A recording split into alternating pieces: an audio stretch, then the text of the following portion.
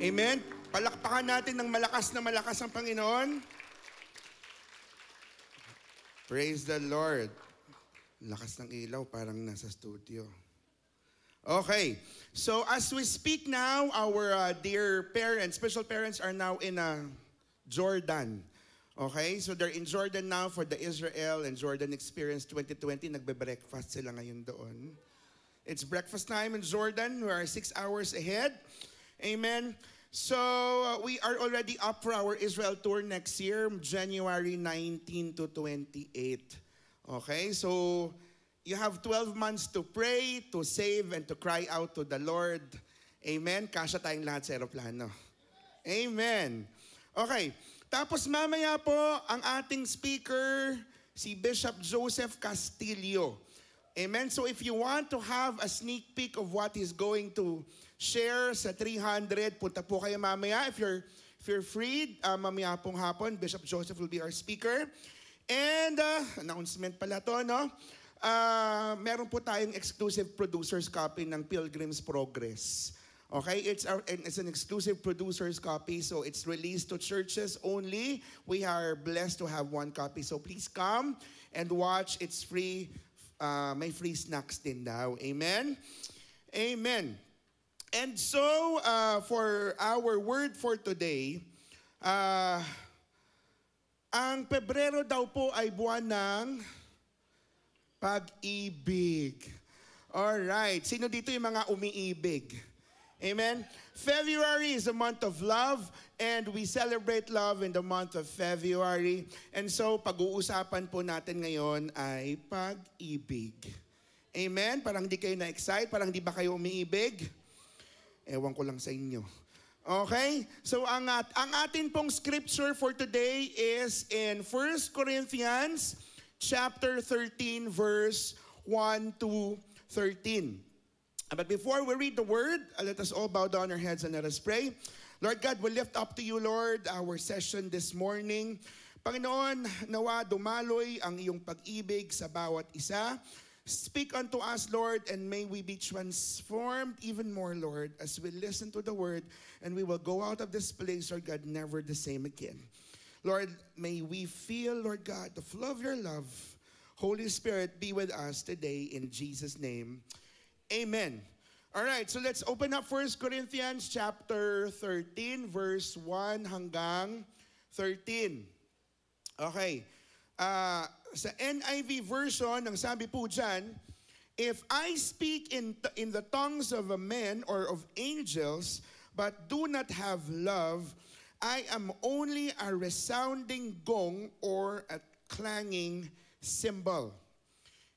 Verse 2 If I have the gift of prophecy and can fathom all mysteries and all knowledge, and if I have a faith that can move mountains, but do not have love, I am nothing. If I give all I possess to the poor and give over my body to hardship that I may boast, but do not have love, I gain nothing. Love is patient. Love is kind, it does not envy, it does not boast, it is not proud, it does not dishonor others, it is not self seeking, it is not easily angered, it keeps no record of wrongs. Love does not delight in evil, but rejoices with the truth. It always protects, always trusts, always hopes, always perseveres. And everyone will say, verse 8, love never fails. But where there are prophecies, they will cease. Where there are tongues, they will be stilled. Where there is knowledge, it will pass away. For we know in part and we prophesy in part, but when completeness comes, what is in part disappears. When I was a child, I talked like a child, I thought like a child, I reasoned like a child.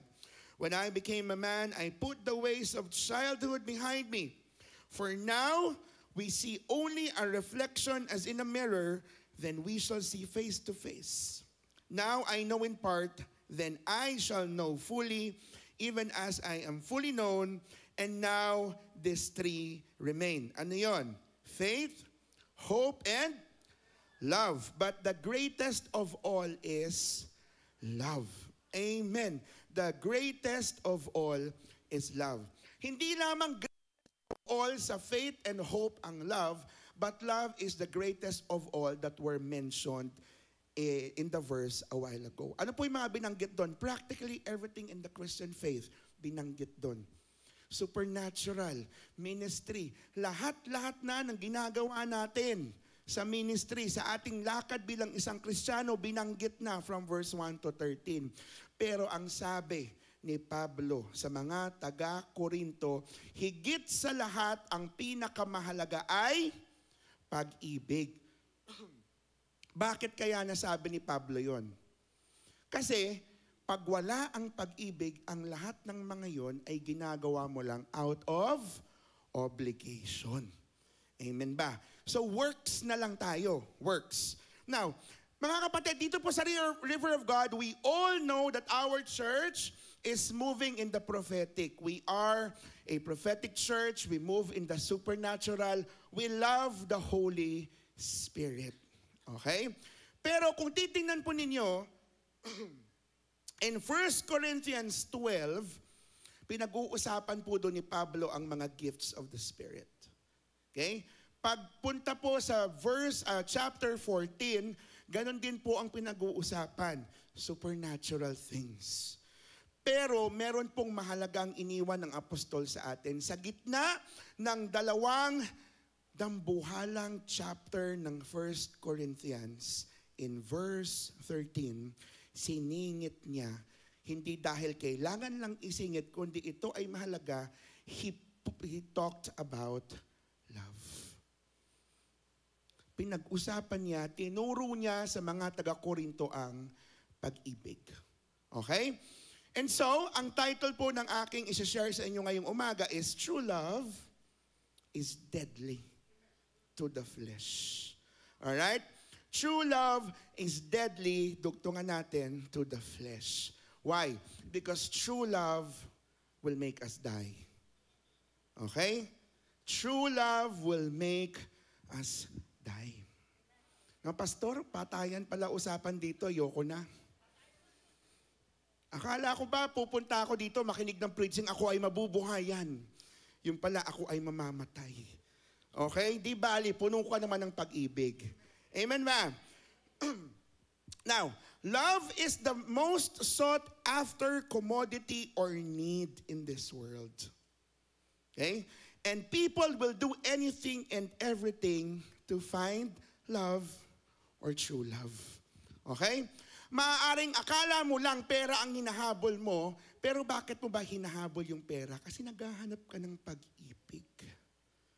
Akala mo lang pag may pera ka na, darating ang tao sa iyo at iibigin ka. Akala mo lang naghahanap ka ng oras o panahon, pero hindi mo alam, yung paghahanap mo ng oras na yan, ang punot dulo niyan, pag-ibig pa rin. Okay? It is the most sought after. Commodity means something valuable. Okay? And we may not be aware of it, pero what we lack always is love. Now, people end up with the wrong people in the wrong places at the wrong time in their search for love. Okay? O, balik-balik din ng mga unang panahon na ikaw eh masyadong mapusok sa pag-ibig. Ano ba yung mga bagay na ginawa mo, napuntahan mo at mga kalukuhang uh, uh, na-involve ka ng dahil lamang sa pag-ibig. We end up in the wrong people. We end up in the wrong places at the wrong time because of one thing, love. And if we, tandaan natin, and if we have not found love, then we feel like we are not complete. Ngayon sa Bible po, meron pong apat na klaseng pag-ibig na, ta, na nababanggit sa Bible. Okay? Four kinds of love that the Bible talks about. Number one, eros. Mga Greek words po yan. Eros, torge, philia or phil, phil, philia or phileos, and agape. Okay? Apat. Okay? Eros, na yan, romantic love. Yung pag-ibig na nararamdaman mo sa iniirog mo. May boyfriend ka, may asawa ka, eros ang tawag dyan. Okay? Ngayon, itong storge, ito yung pag-ibig na meron ka sa iyong pamilya. Sa iyong nanay, sa iyong anak, kapatid. It's kind of a family love thing. Okay? Yung philia or phileos, ito yung pag-ibig mo sa iyong kaibigan. The friendly kind of love. And yung pinakamataas na antas ng pag-ibig na binabanggit sa Bible, agape. Ibig sabihin, ang pag-ibig na walang kondisyon. Okay? You love someone not because he or she is beautiful or handsome. You love someone not because may nakikita kang maganda sa kanya. Wala lang, talagang mahal mo lang talaga siya. Naniniwala ba kayo ang pagtunay na pag-ibig hindi na ipapaliwanag? Kasi kung kaya mo siyang ipaliwanag, hindi pag-ibig yan. O, di ba? Okay. Now, last week, nag-preach po ako sa youth service. No, ang kanilang topic, ibiyan kilig. Di ba? Pinag-usapan namin yung pag-ibig ni Jacob kay Rachel. Okay? Pero hindi yan ang pag-uusapan natin ngayon. Okay?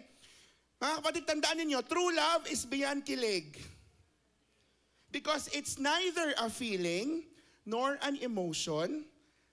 It is not an infatuation, but it is a decision. Okay? Love is not a feeling, it is a decision. Kaya alisin mo na yung kilig factor sa pag-ibig, pag-ibig na yan. Pag kinikilig ka, wala lang yan. Baka naiihi ka lang. Okay? It is neither a feeling nor emotion.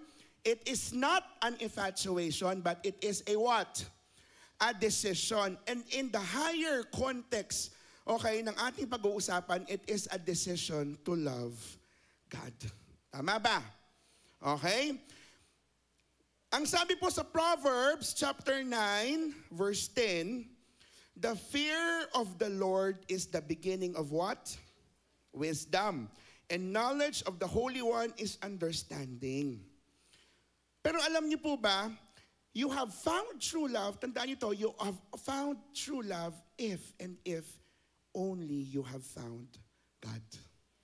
You will never, you will never find love, true love, anywhere in the world. Alam niyo po, ang Panginoon po ang naglikha sa atin. Okay? And in our hearts, there is a space that is only reserved for Him. Okay? And marami sa atin, naghahanap tayo ng pag-ibig, kaya kung ano-ano yung ginagawa natin, kung saan-saan tayo pumupunta, hindi pa rin natin nahahanap yung pag-ibig na yan. Why? Because, because that space is not reserved for something else, but it is reserved for whom? For God. So it is only when Okay? It is only when you have found God that you will find true love. Okay? He makes you whole.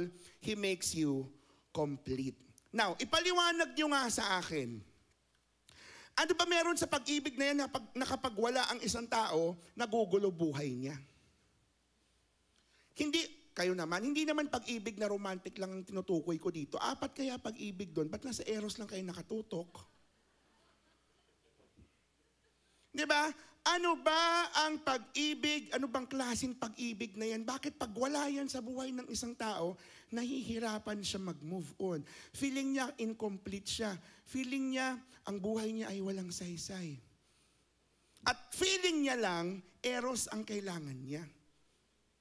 Pag nakaget over na siya sa eros, nare-realize niya, kailangan ko pala ng pag-ibig ng nanay at tatay ko. But even more so, mahanap mo man yung tatlong yon without the agape kind of love, you will never be complete. Never. You have found true love when you have found God. Amen ba? Ngayon, balikan natin yung verse. 1 Corinthians chapter 13 verse 4 to 7. Okay? Basahin po natin ng sabay-sabay chapter 4. Uh, 1 Corinthians chapter 13 verse, can we post it? 1 Corinthians, yes. Okay, one, two, three, go. Love is patient.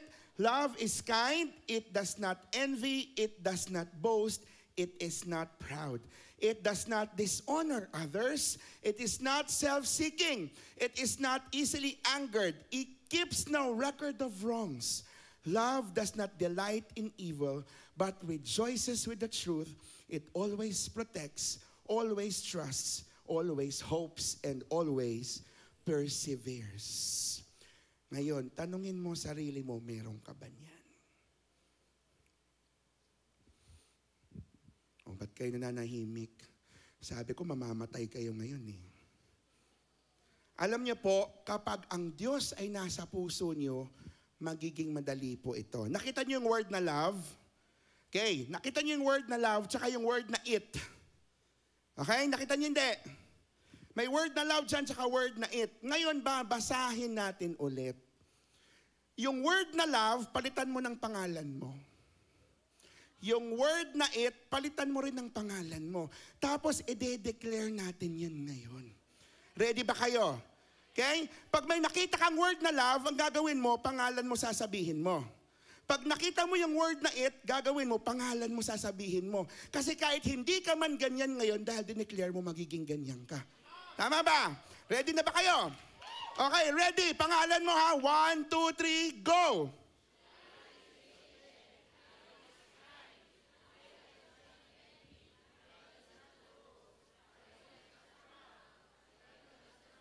Lakasan nyo, parang declaration yan.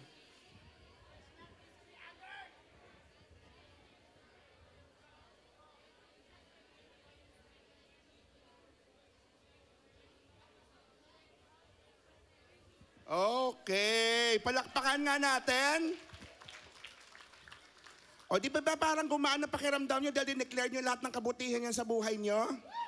Oh, pero wag ka. Habang binabasa niya, titigilan kayo. Sabi niyo, ako nga ba yan?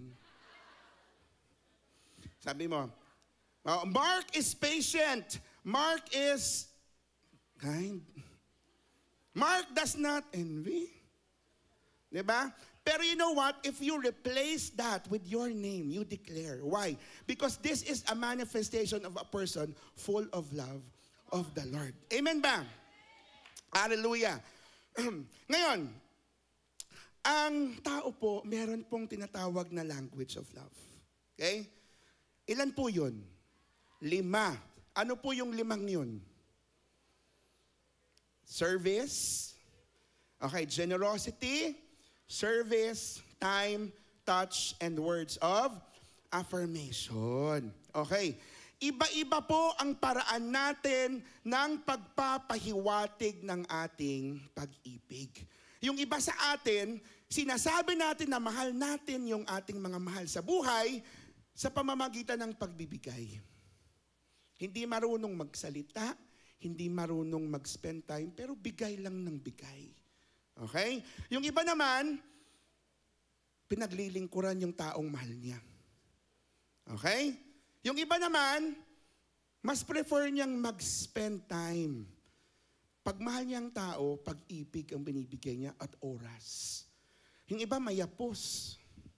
Mahawak, mayakap, clingy. Clingy ba? Okay? Clingy. Panglima, ito mahilig magsalita. Ang ganda mo, I love you. Yan. I love you from the bottom of my intestines. Ah, ganon. Okay? From the bottom of my heart. Ay ganon. Di ba? Yung iba naman, gustong gusto mo nang makarinig ng I love you sa kanya, ayaw talaga magsalita ng I love you. sasabihan mo, I love you, sabi niya, thank you. Tapos ang gagawin niya, pasikreto ng bibigay ng chocolate sa'yo. Okay? May mga ganon. Pero, ang sa limang yan, obedience. Okay? Pag may obedience ka, ibig sabihin nun, iniibig mo ng tunay ang Panginoon. After that, yung limang yan, lalabas ng madali. Okay? If you have the true love for God through obedience, it will transform your life, then all of these five will come out naturally. Amen? Sige, punta tayo sa first point. Number one, true love is a fruit of the Holy Spirit. All other parts of the fruit develop when there is love. Okay? Hindi ko hindi ko pwedeng sabihin fruits eh. Kasi hindi po yan na nine, hindi po yan fruits of the Holy Spirit. Fruit yan. May bunga ka kapag nabuo mo yung mga yung lahat na nabanggit doon. Okay? Pero saan po nag-uumpisa ang lahat yan? Sa love. Okay?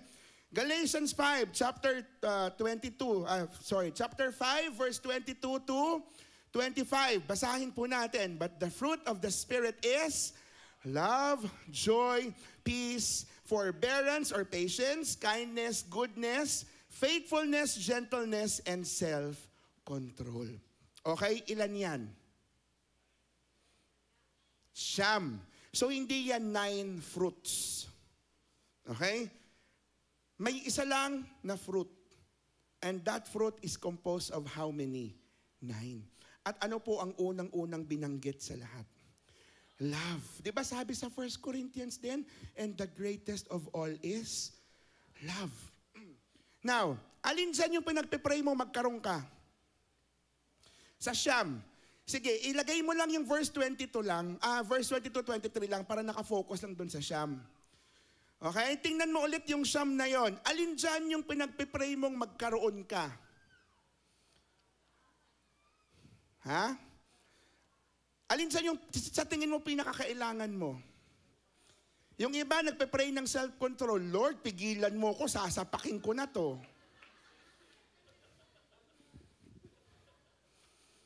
Diba? O di kaya ano, patience. Lord, bigyan mo ko ng mahabang pasensya tapos dumating yung, naka, yung kapatid mong nakakabuisit. Then your patience is tested. Now, bakit unang-una lahat ang love dyan? Kasi from love will spring out the others. Okay? Wag na wag mong uh, ipanalangin na magkaroon ka ng self-control. Panghuli nga yan eh, hindi mo ba nakita? Kahit anong gawin mong control sa sarili mo, kahit anong gawin mong magkaroon ka ng kapayapaan, pag hindi mo mahal yung isang tao na yan, hindi ka magkakaroon ng lahat ng yan.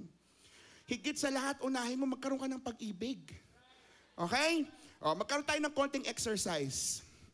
Think of a person that you are so pissed the most now. Sino yung nag-iisa? Alam ko marami, baka marami. Yung isa lang.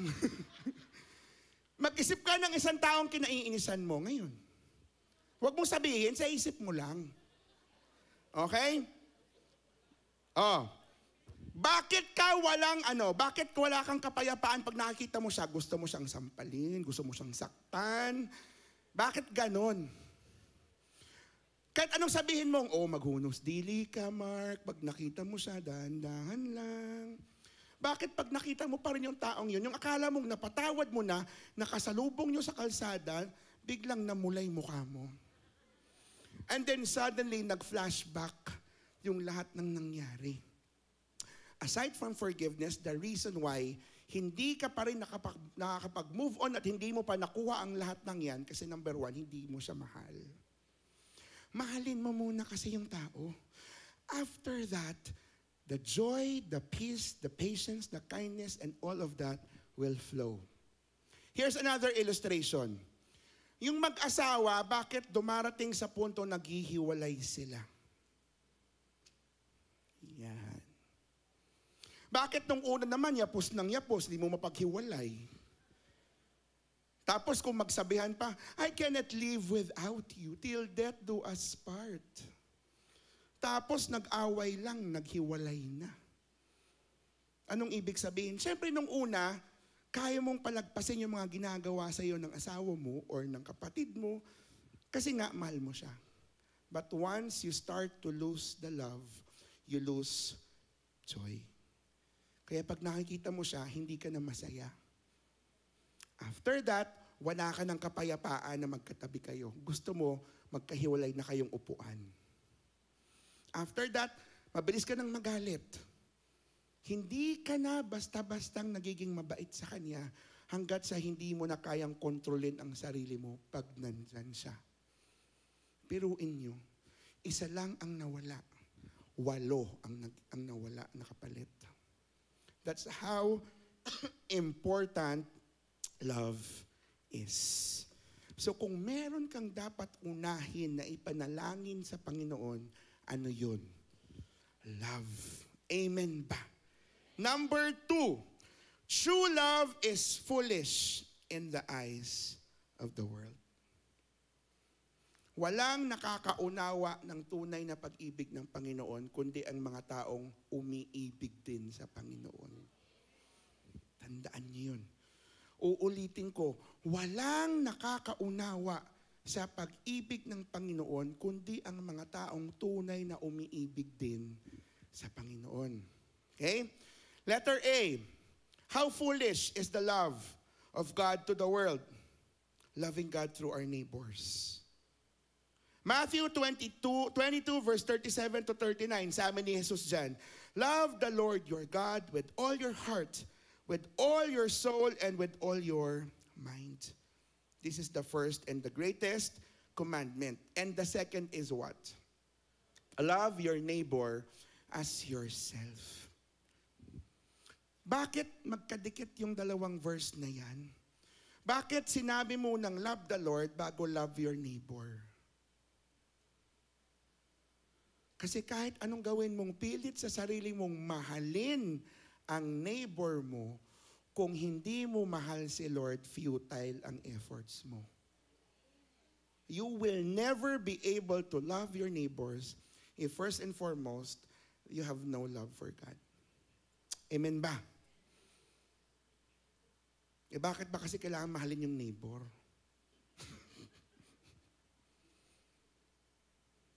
Paano mo daw mahalin yung neighbor mo? As you love yourself. So paano mo ba mahal ang sarili mo? Pinapakain mo sarili mo, pinapaliguan mo, binibigyan mo ng magagandang damit. Di ba? Ganun ba? Ganun ka ba magmahal sa sarili mo? Natutulog ka ng maayos? Tama? O, kung anong ginagawa mo para ipamper ang sarili mo, gawin mo sa neighbor mo. Ay bakit ayaw niyong tumingin sa neighbor? Tingnan mo nga yung neighbor mo. Oh, kaya mo bang gawin sa kanya yung ginagawa mo sa sarili mo? Okay? Medyo mahirap ba? Oh. Tingnan natin, John 13 verse 34. Kung nahihirapan ka sa pinapagawa ni Lord na love your neighbor as you love yourself, ewan ko lang kung, mas, kung, kung mahihirapan ka o madadalian ka dito. Okay? John chapter 13 verse 34. Ano sabi dyan? A new command I give you. John 13:34. Ano sabi? A new command I give you. Love one another as I have loved you, so you must love one another. Sino ang nagsasalita dyan? Si Jesus. Sino kausap niya? Tayo. Paano mo daw, paano daw natin iibigin yung ating kapwa? Kagaya ng pag-ibig niya sa atin. Paano ba inibig ni Jesus tayo? Oh, see?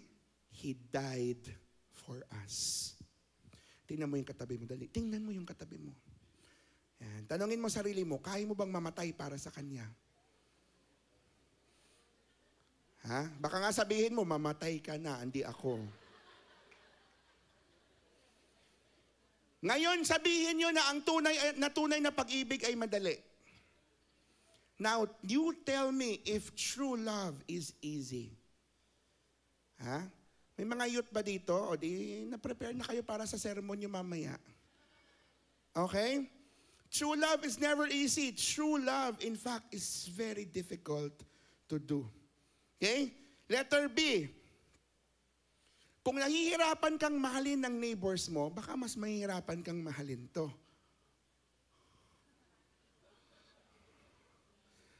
Loving our enemies. If you cannot love your neighbor, I don't think you will have an easy time loving your enemies. Ano sabi ng Panginoon sa Matthew 5 verse 43 to 48? You have heard that it was said, Love your neighbor and hate your enemy. This is the wisdom of the world. Love your neighbor and hate your enemy. But I tell you, love your enemies and pray for those who persecute you, that you may be your children of your Father in heaven. He causes the sun to rise on the evil and the good and sends rain on the righteous and the unrighteous. Ano daw ang gagawin mo sa enemy mo? Next, verse 46. And if you greet only your own people, what are you doing more than others? Do not even pagans do that? Be perfect, therefore, as your heavenly Father is perfect. Anong ibig sabihin ni Jesus dyan? Kung iniibig mo lang yung mga taong umiibig din sa'yo, anong, pag, anong pinagkaiba nun sa ginagawa ng mundo? Madali bang, ano, madali bang mahalin yung taong mahal ka din? Ha? Madali. Pag love ka niya, madali na rin i-love siya. Tama ba? Pero paano pag sabi ni Lord, yung kasuklam-suklam na taong ugali na yan, mahalin mo. See? Oo. Palakpakan naman natin ng Panginoon sa kanyang tinuturo sa atin. At for the glory of God, alam niyo ba, palakpakan niyo yung mga disciples na nandito. Kasi alam niyo kung bakit? Minamahal nila ang mga hindi kaibig-ibig. Sa una lang naman, kayo naman. Okay? Discipleship is actually a reflection of this. Kasi pag sinabi ng Lord na yung mga hindi ka ibig-ibig, hindi naman niya ibig sabihin yung mga pulubi, yung mga kriminal, hindi yun. Hindi. Okay? Yung katabi mo, yun yung tinutukoy ng Panginoon. O di ba, pag tinignan mo yung katabi mo, di ba, kaaya-aya siya ngayon? Tama, di ba? Pero pag hindi kayo magkasundo, di ba, enemy-enemy kayo? Husbands and wives, you can be so loving with each other, but when you are at war, you are the worst enemies. In that specific point of time na ang taong yon ay hindi ka ibig-ibig, kaya mo ba siyang mahalin? Ba? O yung mga discipler, yung mga disciple yung mga ano, mga pass away. Yung mga disciple natin na hindi mo maintindihan kung ano yung mga pinaggagawa sa buhay. Na ang dami mo ng problema sa sarili mo, dadagdag pa siya. Pero dahil binigay siya ng Lord sa iyo, anong gagawin mo? Hindi kulang pa ang luha na lumabas. Hello? May kilala akong isang discipler, may rescue operation siyang ginawa sa disciple niya. Oh, alam anong ginawa niya? Ma, alam, ang alam ko, nasa isa siyang disciple niya sa malayong lugar sa Paranaque. Tapos may isang disciple naman yan, medyo nagpasaway nandun sa may bandang Manila. Nag-angkas papunta pa roon para magkaroon ng rescue mission sa madaling araw. Isipin niyo nga yun, kung anong kayang gawin ng isa, ng isang discipler or leader, just to make sure na yung mga nasasakupan mo hindi mapapahamak. Di ba? Come on. Even going through the, the, the, the danger of going to jail.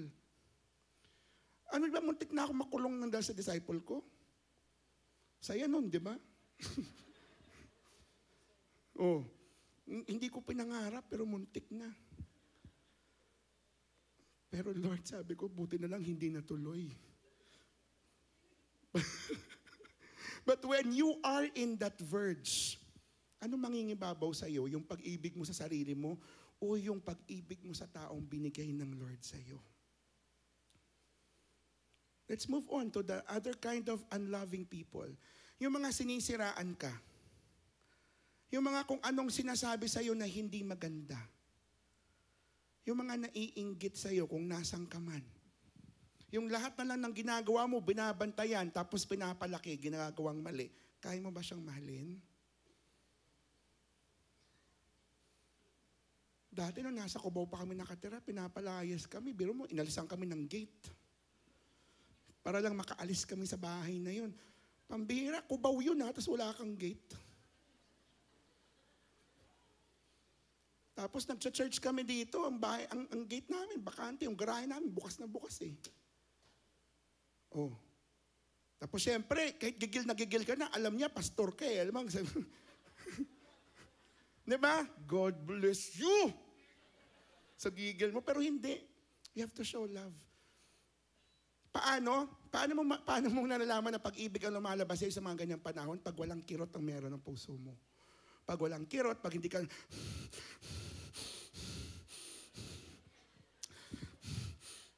Ganun. Pigil na pigil ka na. Wala ka nga sinasabi, pero yung puso mo sasabog na. May kilala ako maraming ganyan. That's not an actual reflection of love. And no matter how much, no matter how much you control yourself, it springs out. Nakikita. So that is how the Lord is training us to love. Amen ba? Mahirap. Another, another testimony is, I have a friend, ah, pinagmamalaki niya ako sa kanyang mga magulang. Sabi niya sa mama niya, Ma, alam mo ba, may friend akong pastor. Grabe. Iniwan niya yung, yung kanyang, ano, yung kanyang pagka-doktor, iniwan niya yung kanyang negosyo, lahat para magpastor. Alam mo, nung kinuwento sa akin ng kaibigan ko, sabi niya, ano sabi ng mama mo? Ang hina naman ng kaibigan mo. Ang hina. Ewan ko lang kung yun lang sinabi, baka meron pa. How will you be able to share the gospel to that person? Siya mismo umaatake sa'yo. Have you tried sharing the gospel to your family members na walang sinasabi kundi masama tungkol sa'yo? How can you, can you, can you give love to them? It's very difficult. Letter C, leave our lives behind for God. That's a kind of love that God is asking for us. Luke 18, verse 18 and 22, sabi, certain ruler asked him, Good teacher, what must I do to inherit eternal life? In verse 22, ang sagot ni Jesus, when Jesus heard this, he said to him, You still lack one thing. Sell everything you have and give it to the poor. You will have treasure in heaven and then come and follow me. That kind of love for God is foolish to the world. See?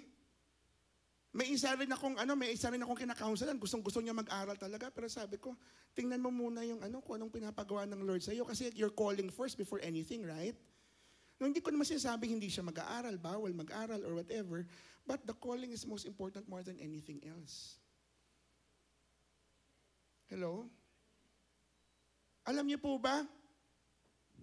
Sabi sa akin, hindi ba parang mahirap naman marinig kay Lord yan na hindi kanya will mag-aral? Parang foolish naman, di ba? Eh foolish naman talaga yung ano eh, yung wisdom ni Lord para sa mundo eh. Hindi ba foolish yung ang sarap-sarap ng buhay mo, iiwanan mo? Ha, di ba foolish yon? Ang dami-dami mo pera, iiwanan mo para sa Panginoon, hindi ba foolish yun? I spent 10, 15 years studying for my career and then the Lord said, iwanan mo yan. Hindi ba foolish yun? Di ba? That's foolish for the world. But why are Christians obeying the Lord even though the wisdom is foolish to the world? Ano nga sabi ko kanina? Only those who love God will understand the wisdom of the love of God. Amen ba? Amen. Palakpakan natin ng Lord. Number three, my last point, true love is sacrificial.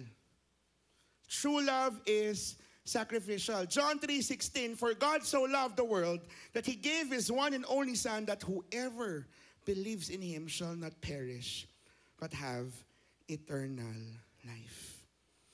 Kahapon po, I think, was it yesterday or no, Friday, prophetic level 3, nung kami po ay nag-worship for activation sa prophetic, I saw a vision for all the participants. Ang nakita ko, pumasok yung mga participants sa isang laboratory, tapos kinukuhanan silang blood sample. Tapos after the blood was drawn from them, nilalagay yung dugo sa test tube, tapos binibigay sa kanila. Isa-isa. And then they fall, they stand in another line, tapos dito, nakatayo si Jesus, nakapila silang lahat dyan. Tapos si Jesus, meron din siyang kinuhang blood sa isang malaking syringe. Tapos hawak-hawak ng mga taong yon yung test tube, and every test tube nilalagyan ng Panginoon ng dugo niya. Okay. And then after that, they infused their blood back to their bodies. Ano pong ibig sabihin ng vision na yon? God is simply affirming na ang dugo na dumadaloy sa mga ugat natin, dugo na niya at hindi na atin. Amen ba? Ano po ang kinalaman dito? Kasi yun po ang ginawa niya sa sacrifice niya.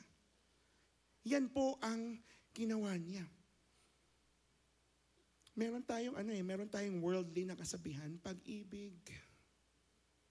Pag-ibig, pag pumasok sa puso ni Numan, hahamakin ang lahat, masunod ka lamang. O, alam niyo kung saan galing to? Florante at Laura. Ay, hindi alam ng iba. Hindi kayo nagbasa, baka ibong adar na sagot niyo ha. okay, pag-ibig, pag pumasok sa puso ni Numan, hahamakin ang lahat, masunod ka lamang. This is a secular quote. Pero, kapag in-apply mo to sa spiritual life mo, hahamakin mo talaga ang lahat, masunod lang ang pag-ibig mo sa Panginoon. Hello? Kung kaya mong hamakin ang lahat, masunod lang ang pag-ibig mo sa jowa mo noon. Bakit hindi mo kayang hamakin ang lahat, masunod lang ang pag-ibig mo sa Panginoon? Okay? Now look at this. Look at these photos. Okay? I have another photo prepared. That. Okay? Yan ang ginawa niya. Balik mo sa isa, mas close up. Yan. O di ba? Hindi pa ba sacrificial yung ginawa niya? Sino ka ba? Sino ba tayo para gawin niyang lahat yan? Is it not true love enough for the Lord to give His blood for us? Mahirap, masakit, pero kailangan. Ginawa niyang lahat yan para sa iyo at sa akin. Dapat tayo din. Nang dahil sa pag-ibig ng Diyos sa atin, binigay niya ang kanyang bugtong na anak para tayo ay maligtas. Nang dahil sa pag-ibig ni Jesus sa atin, binigay niya ang kanyang buhay para sa atin. Siya ay namatay para tayong lahat ay mabuhay. You know, I end here and then call the worship team. Meditate nyo nga itong mga last parts na ito. Maaaring kanina medyo kinikilig-kilig pa tayo ngayon sabihin ko, pag nakita mo yung picture, makilig ka ba pag nakita mo yun? Hindi ka kikilig doon, kikilabutan ka eh. Nakakakilabot yung ginawa ng Panginoon para sa kanyang pag-ibig sa atin. And the pattern or the kind of love that we all must do yung binanggit ko kanina sa point 1 and number 2, dito po yun. Dito po yun nakahugot that love is indeed sacrificial. You know what? This is my challenge to you all. We need to die. We need to die for Christ to live in us. That is the expression of God's love for us all. Have you realized habang kinikilig-kilig tayo sa pag-ibig na, nararana, na, na nararanasan natin dito sa mundo, we are missing out the kind of love that God has already given to us a long time ago. And while we are out there searching for love, for the wrong kind of love, God has already made Himself a gift to us na ang kailangan nat, ng natin gawin, ma-realize sa mga buhay natin that love has already been with us a long time ago. And it continues to persist even now.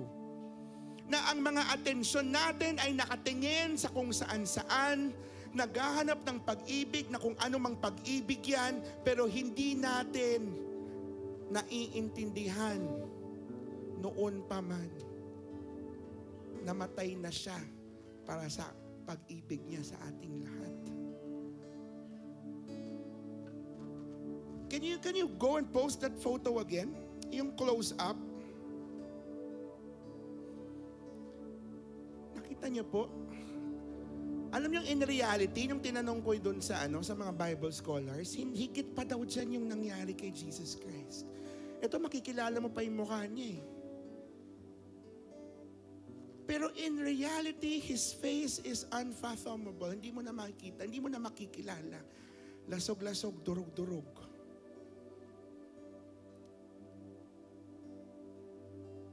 Hahamakin ang lahat, masunod ka lamang.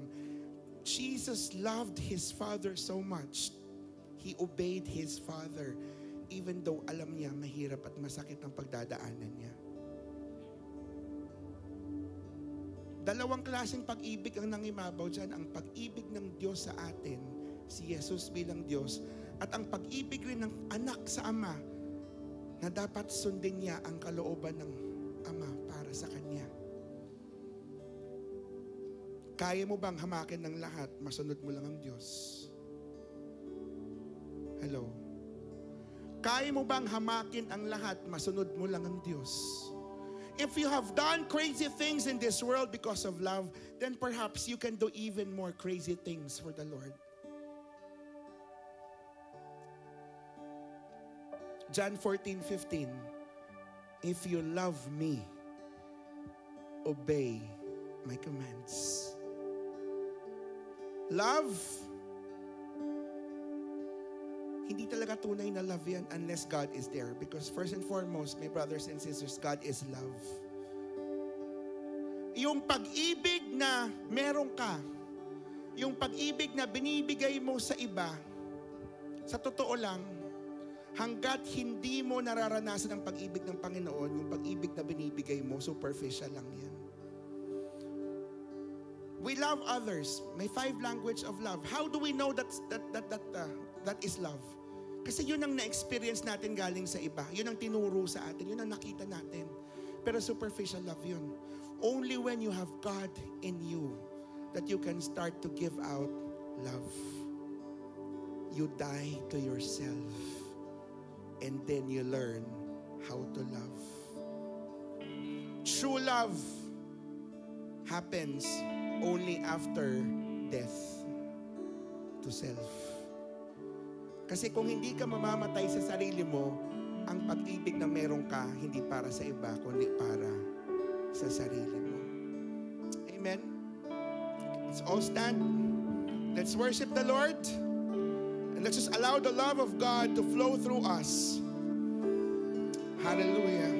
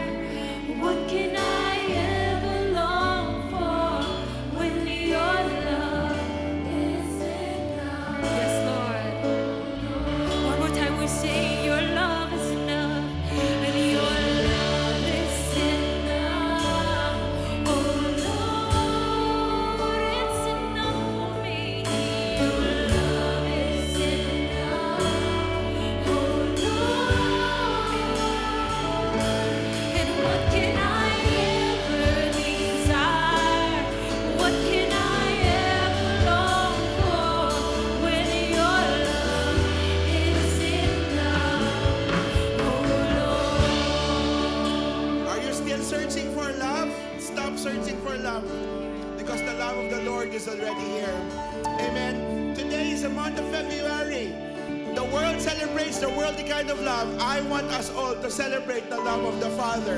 Amen. Come in front. Come in front. Stop looking for love. The love of God is here. Just come in front and allow the love of the Lord to come into you right now. Come on, come in front.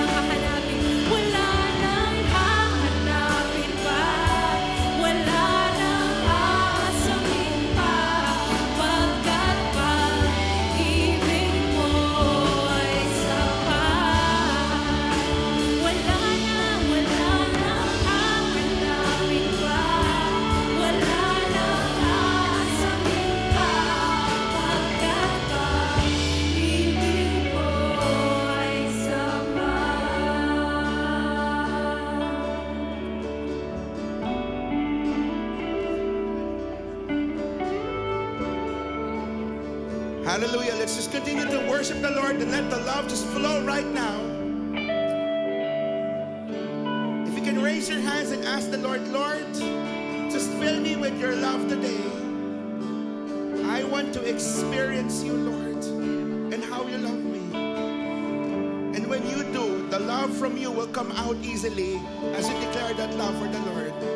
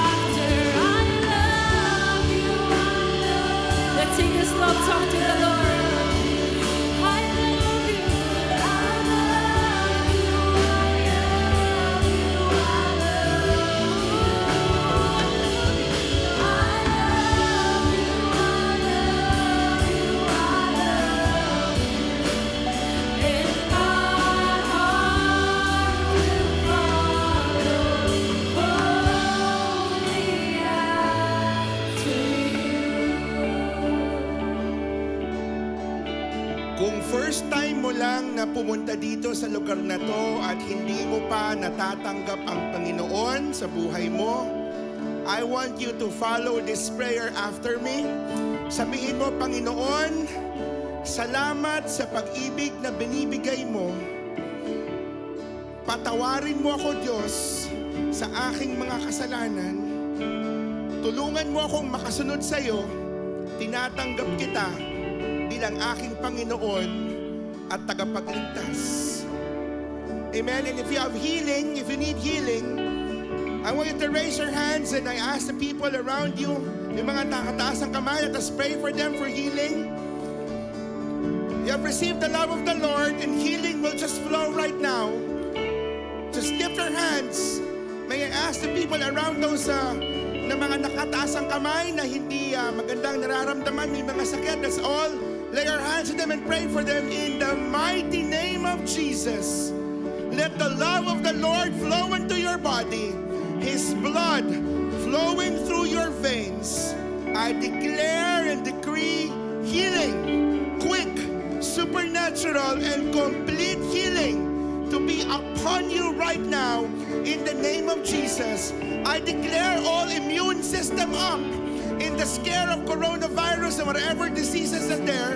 In the name of Jesus, strengthen, Lord, the immune system of all these people, Lord God, and let them make resistant, Lord, because you are, you are covering us with your precious blood. Thank you, Lord, in the name of Jesus.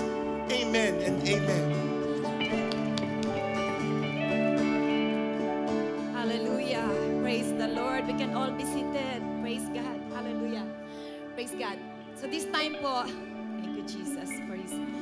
Pwede po bang palakpakan natin si Lord sa napakagandang mensahe niya sa ating lahat ngayong umaga? Hallelujah. Thank you Lord for your great love. So this time po, kukuha po tayo ng offering.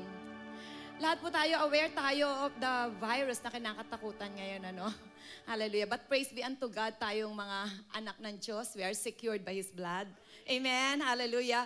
At secured tayo sa love ni Lord. Amen. At kung meron pong dapat mas-spread ngayon, hindi po virus.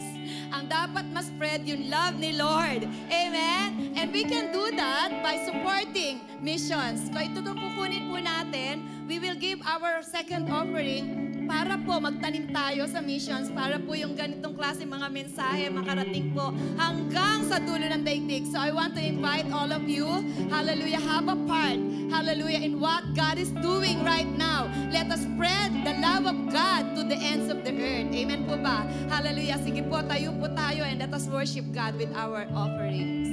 Thank you, Lord. Hallelujah. Hallelujah. Thank you, Jesus. Hallelujah. Ang dami po ngayon sugatan. May mga natatakot. Hallelujah. Hindi nila alam ang gagawin nila. Pero hindi nila alam. Yung hindi nila alam, kailangan malaman nila. Amen? So we can only do that. Hallelujah. Sa pamagitan po ng pag-share ng gospel. So this time, stretch po natin yung hands natin. Salamat, Panginoon. Yahweh, salamat. Salamat sa pag-ibig mo. Itong mga kaloob na to, din to sa pag-ibig mo. Binabalik namin to sa iyo. Ang dalangin namin, maraming maabot ito, Lord. Hindi namin alam kung paano, pero sa kaparaanan mo, maraming maaabot ang mga kaloob na ito. At sinasamba ka namin, Panginoon, for giving us the opportunity, Lord God, to be a blessing to the nations. In Jesus' name we pray. Amen and amen. Hallelujah. So this time, tawagan ko po si Pastor Mark to give the benediction. Tayo po tayong lahat. Amen. Tayo po tayong lahat. Ah, Taas natin ang ating mga kamay sa Panginoon. Hallelujah. You, all of you, you don't need to look for love because the love of the Lord is already in you. And I declare that love to overflow from the Lord to you and from you to others that everyone around you will just feel the love of the Lord they will come to the Lord because the Lord is using you. Lord, send them out all God, filled with love, Lord. Take away all the worries, all the confusion, Lord God. Ang lahat ng pangamba ay mawawala dahil ang pag-ibig mo ay sapat. Ang pag-ibig mo ay sapat, Panginoon. God bless you all. Let heaven opens for you in the name of Jesus. Amen. Amen. Hallelujah. Let's celebrate.